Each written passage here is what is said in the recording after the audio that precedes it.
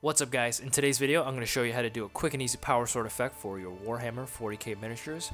This can be used for any miniature that requires a slightly magical effect on their blade.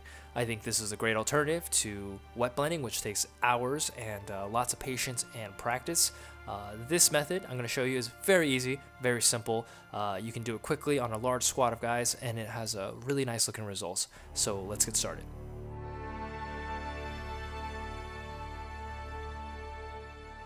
Um, I find that the layer blending method of doing power swords, uh, while looking amazing, is extremely time consuming and um, takes a lot of practice to not mess up. Uh, so instead, I'm going to show you a quick way to do it, and uh, that'll have pretty nice results. Uh, so let's get started.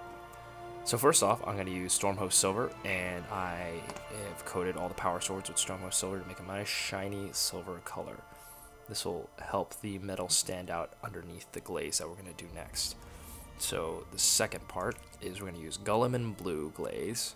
So I'm going to apply the Guilliman Blue almost directly to the blades. I'm going to use my palette, but I'm not going to thin it down. If you want a more subtle Power Sword blue glowing effect, you can always thin it down a little bit with some Lahmian Medium.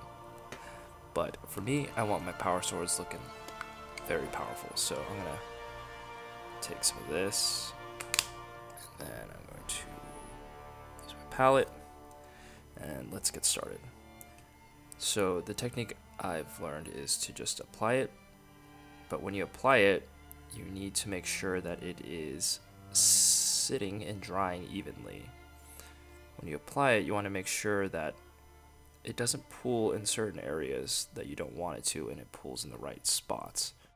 If you see right there how it naturally kind of seeps into the recesses and the flat areas and then when there's like that edge on the blade right where the edges are there's that silver line you can kind of see. That is what we're trying to keep. So I'm gonna apply this to both sides. This technique requires the Guilliman blue to dry in a very specific way. Uh, let's say see this model since the sword is vertical I stood them up like this you can see that the Guilliman blue is starting to work its way down the blade. So I don't want that. So instead I'm going to hold it sideways. And if you need to, you can always just prop them up somewhere where his blade will be be flat. Um, also, Guilliman Blue can dry pretty quickly, so if you wanted, you could even just hold it like this. Alright, we're going to do on this sword too. It's very flat, so it'll make it really easy. So I'm just going to apply the Guilliman Blue. It helps if you kind of swipe your brush down and it kind of pulls all the paint off your brush onto the surface. As you can see, the blue effect on the sword already makes it look quite powerful, uh, as if there's electricity or energy flowing through it. Um, we're going to let this dry completely, and then we're going to move on to the next step, which will really make it pop. Alright guys, so our Guilliman Blue has dried. Uh, I put two coats on the sword on the right and one coat on the sword on the left. And you see the difference. I just wanted to kind of show you. Uh, it's up to you. You can have as light or as dark as you want. Kind of like the look of the very dark blue sword though. It kind of gives it this nice, uh, nice, uh, very like powerful, magical feel to it. So uh, I'm going to finish these blades up with a little bit of Stormhost Silver. I'm going to do a Stormhost Silver edge highlight on the blades. It's going to really make them pop and bring that metal back out. I would normally say thin your paints, like Duncan always says, but for edge highlighting, I generally find that having a drier brush makes it a lot easier. So I'm actually going to take it directly from the pot, but I'm just going to control how much I have by working on the lid there. Alright, so uh, this technique is just going to be following all these lines. So if you see this edge right here that goes down, and then also the edge of the blade and the top, I'm just going to lightly, as thinly as possible, draw a line. And uh, the way I recommend doing this is dragging your brush downwards so that it's, as opposed to trying to go sideways like this, it's really difficult. So let's just drag our brush downwards. start up from the top.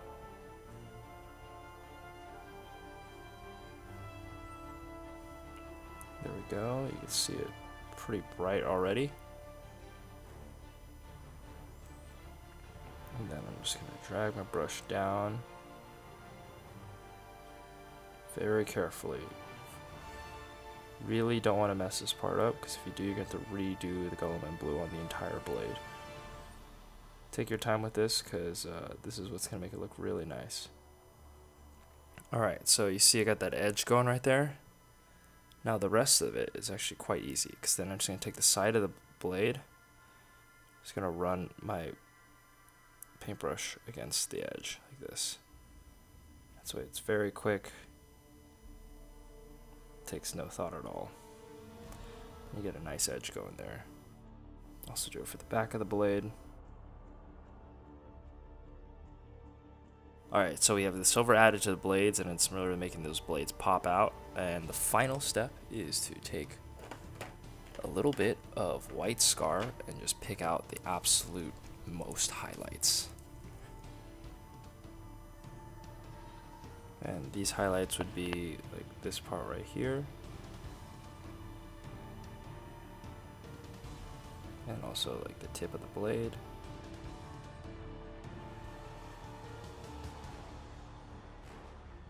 Just right where the light would hit it the most. And the blades are complete. They're looking pretty fresh. Uh, this is the lighter one. This is the one with two coats. I kind of like them both. Uh, remember, the thinner your edge highlights are, the better and more legit it'll look. Um, but again, this is a very quick and easy way to do power swords. Um, you can spend hours and hours wet blending a single blade, and it'll look immaculate. But this is tabletop quality, and uh, that's generally what I try to paint my guys to. Uh, a little bit better than tabletop quality. So I uh, hope this tutorial was helpful for you guys, and hopefully uh, this will save you some time, and you'll actually get your armies completed. Um, stay tuned for more tutorials like this. I'll do battle reports too coming soon. Um, let me know what you think in the comments if there's something I could have done better, or um, if this tutorial helped you out a lot. Thanks for watching, guys. Don't forget to subscribe and like this video, and I'll see you guys next time.